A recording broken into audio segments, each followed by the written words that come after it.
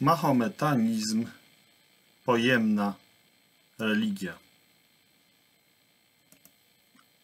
Jest to wypowiedź oparta na artykule Alfreda Henry'ego Burtona z czasopisma Chrześcijańska Prawda, tom pierwszy.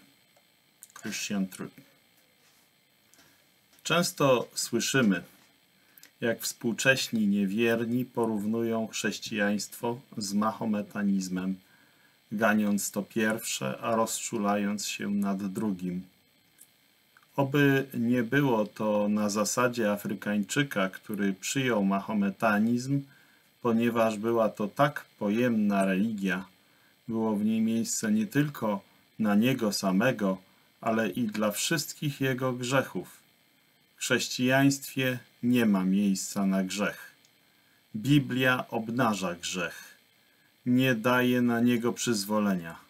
Nie usprawiedliwia go, lecz stwierdza, co jest jedynym lekarstwem na grzech.